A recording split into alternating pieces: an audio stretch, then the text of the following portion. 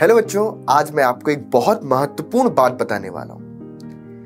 संघर्ष में इंसान अकेला होता है, सफलता में दुनिया साथ होती है। जिस जिस पर यह संसार हंसा है, उसी ने जाकर इतिहास रचा है।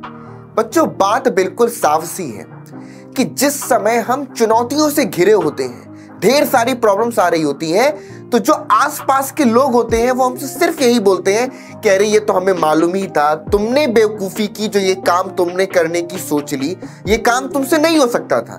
और दस लोग आपके आसपास ऐसे होते हैं जो आपको निरंतर बोल रहे होते हैं कि ये तो तुमसे नहीं हो पाएगा।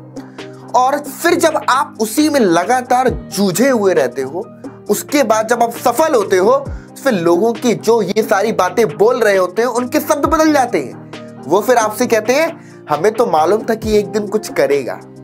तो बस ये हमेशा हर सिचुएशन में, चाहे आपकी पढ़ाई जिस समय पर आप पढ़ रहे हो, कोई करियर ऑप्शन चुन रहे हो, उस समय पर भी आपको ऐसी बातें सुनने को मिलेंगी।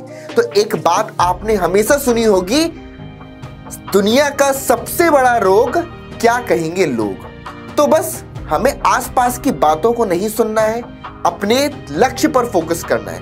क्योंकि एक बात साफ़ है कि ज़रूरी नहीं है कि हर कोशिश में, पहली ही कोशिश में आपको सफलता मिल जाए, लेकिन बिना कोशिश किए सफलता नहीं मिल सकती, ये भी तय है। तो सफल होने तक प्रयास करते रहें।